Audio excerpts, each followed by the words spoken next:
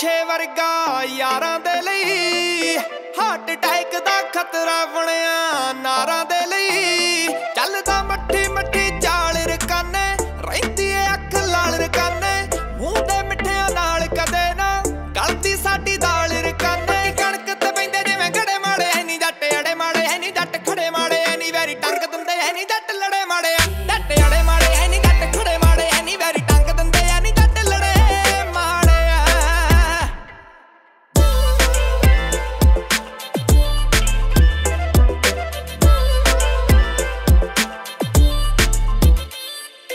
get down.